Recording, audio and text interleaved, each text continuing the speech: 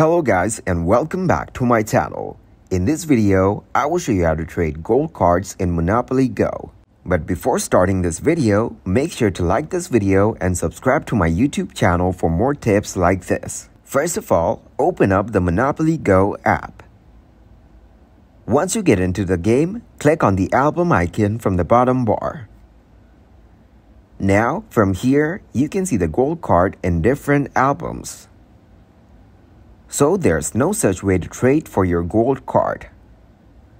But you can trade for the extra cards of your album. You can send the extra card to your Monopoly friends. Or if you get the option to send the gold card, you can share it with your friends.